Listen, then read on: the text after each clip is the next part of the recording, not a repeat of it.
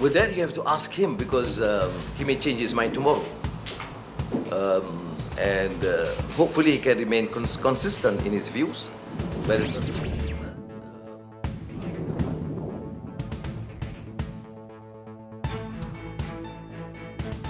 在土团党和西蒙分家之后，安华和马哈迪的关系备受外界瞩目，而反对新联盟却依然身在土团的敦马，如今在西蒙里又扮演着什么样的身份呢？Pakatan Harapan, as it stands today, as we met, discuss, uh, we discussed this morning, is Keadilan, DAP, and Amanah. Bersatu have decided some weeks back to leave.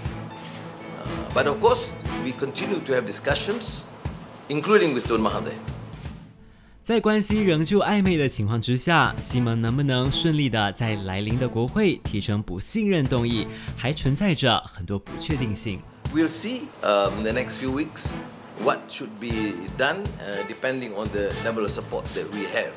That is our position this morning. We are not discounting any possibility, but the focus must be the rakyat economy, and COVID 19.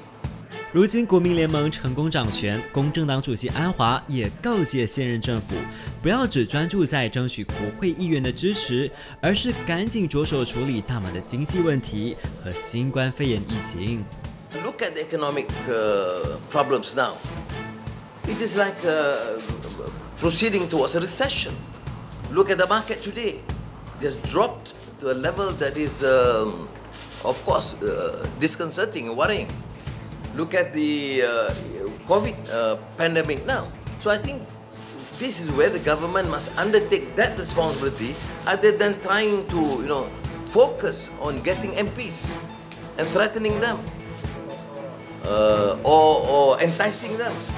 To do a res- responsible job. You have done this uh, dirty gimmick of um taking over a government through uh, essentially an unethical and immoral means.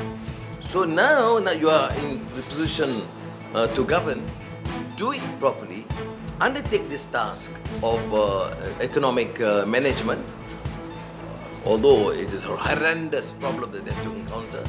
And COVID 19, you must make it clear to the people this is a major problem.